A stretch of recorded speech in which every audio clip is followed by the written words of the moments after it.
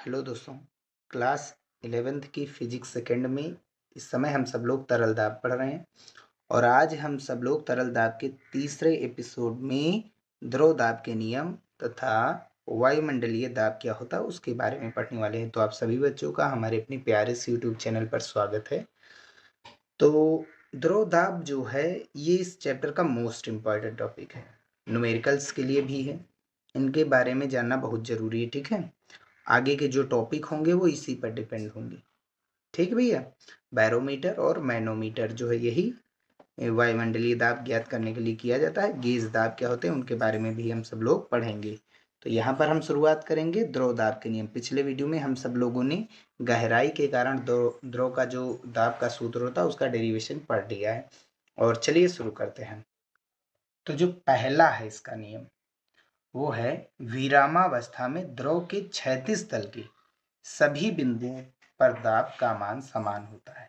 अगर द्रव रुका हुआ है विरामावस्था में, क्योंकि हम तरल दाब पढ़ रहे हैं और तरल दाब जो है केवल और केवल द्रव जब रुका हुआ होगा, स्थिर द्रव जो होगा, ठीक है, उसमें प्रयोग होगा, ठीक है, हमारे यहाँ पर फिजिक्स में।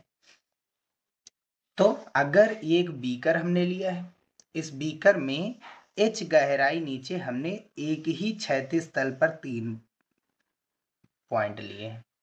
छैतीस तल मतलब ये, सीधी लाइन एकदम ऊर्ध्वाधर तल मतलब ये, ऊर्ध्वाधर लाइन ठीक है? तो छैतीस तल मतलब ये सीधी लाइन इस सीधी लाइन पर जितने भी पॉइंट आएँगे, उनका प्रेशर सेम होगा। चलिए देखते कैसे। एक हमने बीकर लिया है। बीकर में एक द्रव भरा है। उस द्रव का घनत्व तो कितना है? रो और द्रव के ऊपरी वाले तल से कितनी गहराई नीचे? एच एच गहराई नीचे हमने तीन पॉइंट लिए हैं ए बी और सी और इन पर हम दाब निकालेंगे। हम जानते हैं कि किसी भी द्रव में अगर गहराई में जाते हैं तो दाब का मान बढ़ता है। तो इस द्रव में कितनी गहराई हम नीचे जा रहे हैं? एच गहराई। तो पॉइंट ए के लिए एच गहराई के लिए दाब का सूत्र होता है रो जी एच रो घनत्व जी गुरुत्वीय त्वरण और एच होता है हाइट गहराई। ठीक ऐसा ही बिंदु बी के लिए कितनी गहराई है? मेन बात, गहराई देखना है। कितनी गहराई है? एच गहराई नीचे एच गहराई के लिए दाब का सूत्र रो जी एच सी भी एच गहराई नीचे है तो इसके लिए भी दाब का सूत्र क्या होगा? रो जी एच गहराई देखी जाएगी तो गहराई तीनों की सेम ही है, तीनों पॉइंट के लिए। तो इसलिए पी ए बराबर पी बी बराबर पी सी ए मतलब बिंदु ए का दाब पी बी मतलब बिंदु बी का दाब पी सी मतलब बिंदु सी का दाब। जो है यह बिंदु सी पर दाब। रो जी एच होगा। ठीक है? सेकंड देखते हैं। जो सेकंड इसका है, ये भी एक मोस्ट इंपॉर्टेंट है। इसमें चीज़ों को अच्छे से समझना है। द्रव का दाब केवल रो मतलब घनत्व जी मतलब गुरुत्वीय त्वरण व एच पर निर्भर करता है। ठीक? घनत्व गुरुत्वीय त्वरण और गहराई पर निर्भर करता है। यह किसी पात्र के क्षेत्रफल व आकार पर निर्भर नहीं करता। जो पात्र है, वो किस आकार का है, कैसा है, ये उसको नहीं देखता जैसे हमने तीन अलग अलग पात्र लिए। एक पात्र लिया। एच कितनी गहराई के लिए हम ताप निकालेंगे पहले वाले पात्र में? एच गहराई के लिए। यहाँ पर एक, इसके पाद पर या निचली सतह पर एक पॉइंट लिया ए इसके निचली सतह पर भी या और इसके निचली सतह पर सी समान ऊंचाई तक तीनों में क्या भरा हुआ है? द्रव भरा हुआ है। समान ऊंचाई तक तीनों में क्या भरा हुआ है? द्रव भरा हुआ है। और सभी द्रव के घनत्व सेम है। तो तीन अलग अलग प्रकार के बर्तन लिए गए हैं और उसमें समान ऊंचाई तक पानी भरा गया है या द्रव भरा गया है। ठीक है? और सभी के घनत्व समान है। यानी सभी, जो पानी डाला गया है, पानी सभी में एक ही प्रकार का पदार्थ डाला गया तो घनत्व सेम होगा। अब एच गहराई के लिए दाब का सूत्र रो जी एच तो बिंदु ए का दाब कितना होगा? रो जी एच बिंदु बी कितनी गहराई नीचे है? ऊपरी तल से रो जी एच एच गहराई नीचे है तो इसका दाब भी कितना होगा? रो जी एच सी के लिए कितनी गहराई की बात हो रही? एच गहराई तो रो जी एच रो घनत्व रो घनत्व रो घनत्व. और जी तो सेम ही रहेगा, पृथ्वी तल की बात होगी ठीक है? अब आगे बढ़ते हैं। तो अगला जो है, किसी भी बिंदु पर, समझिए किसी भी बिंदु पर उसकी गहराई मतलब द्रव में द्रव में कह सकते हैं, किसी भी बिंदु पर उसकी गहराई से मापा जाता है। ठीक है? उसकी गहराई से दाब मापा जाता है। भैया, यहाँ पर दाब लिख देना है। दाब मापा जाता है। ना कि द्रव की कुल मात्रा से। अगर हमको दाब कहीं पर भी मापना है, किसी भी द्रव में तो हम किससे मापते हैं? गहराई से, ऊंचाई से। ठीक है? ना कि द्रव में कितनी मात्रा है। जैसे समुद्र में कितनी मात्रा है जल की, उससे हमको नहीं मतलब। कितनी गहराई की बात करें। आप गहराई की बात करेंगे तो समुद्र में, तालाब में और कहीं पर भी बात कीजिए, या एक नल में, ठीक है, या एक गड्ढे में कहीं पर भी बात करेंगे तो गहराई कितनी है, वो गहराई का जो दाब होगा वो सेम ही होगा। तो वहाँ द्रव की कुल मात्रा हम नहीं देखेंगे। हम केवल और केवल द्रव की गहराई देखेंगे और एक खास बात द्रव का घनत्व, ये रो रो भी देखना है। ठीक है? आगे।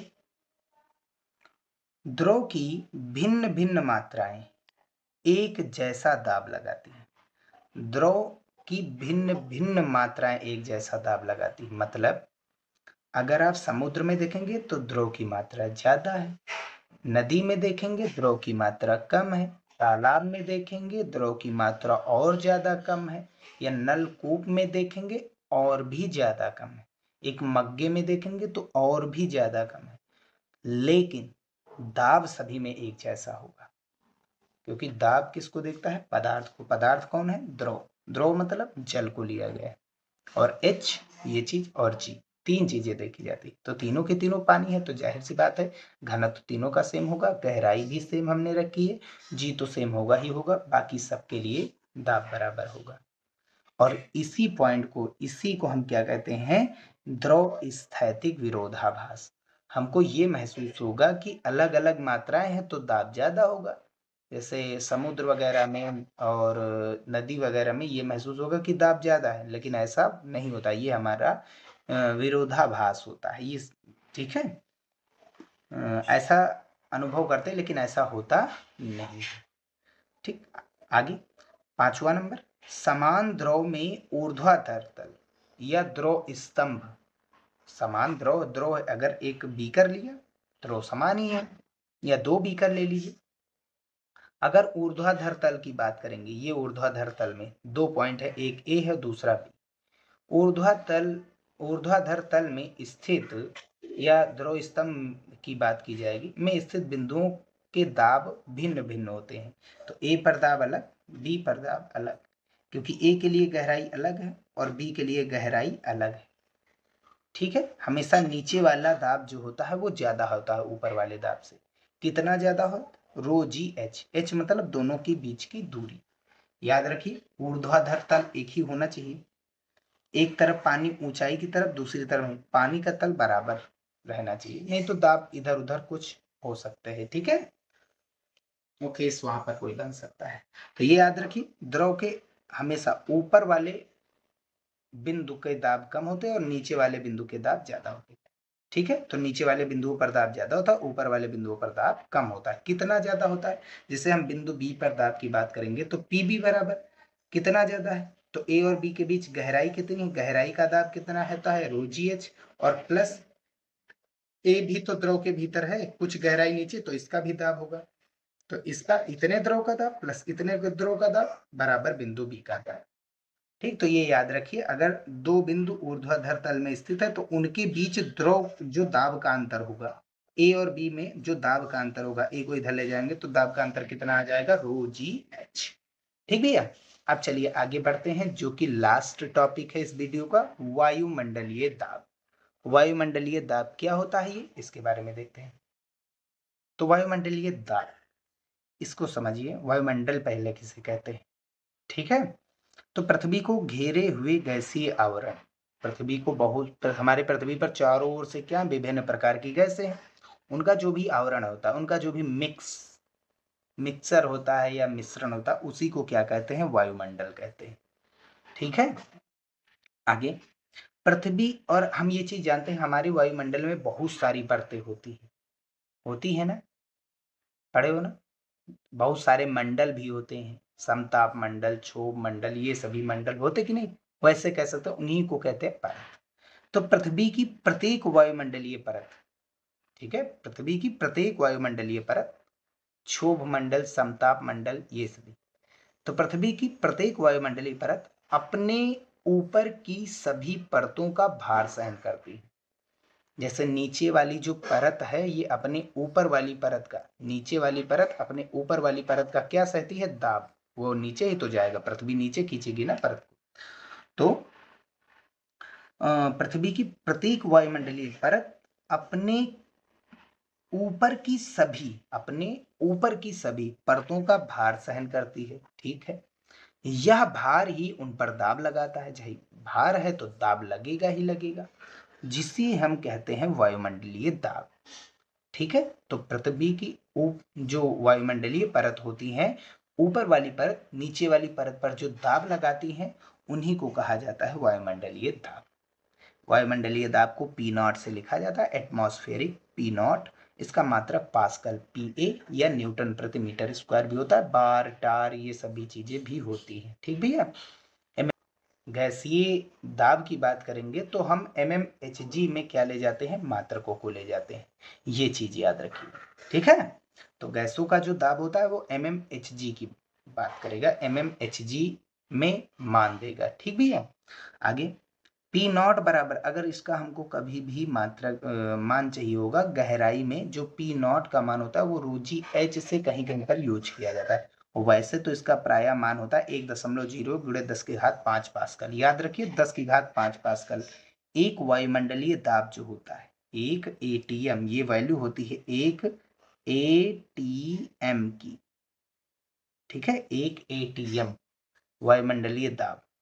ठीक है? वायुमंडलीय दाब, एक वायुमंडलीय दाब जो होता है, वो दस की घात पाँच पास्कल के बराबर होता है। इतनी बात याद रखना है, ठीक है? तो नेक्स्ट वीडियो में हम सब लोग वायुमंडलीय दाब कैसे निकाले जा सकते हैं, उसका डेरिवेशन पढ़ेंगे। बैरोमीटर टॉरिसैली का कथन जो कि उसमें होगा। और फिर इसके बाद मैनोमीटर पढ़ेंगे उसी में, ठीक है? तो मिलते हैं फिर नेक्स्ट वीडियो में। वीडियो पसंद आया हो तो उसे लाइक ज़रूर कीजिएगा। मिलते हैं नेक्स्ट वीडियो में। अगर आप लोगों को इसकी नोट्स चाहिए तो आप सब लोग हमारे टेलीग्राम पर ज्वाइन कर सकते हैं। आदर्श डिजिटल प्लस टेलीग्राम का जो नाम है। अच्छा लिंक भी दिया गया है, आप लोग जा सकते हैं। लिंक भी वहाँ से देख सकते हैं, ठीक है? अबाउट में। मिलते हैं फिर नेक्स्ट वीडियो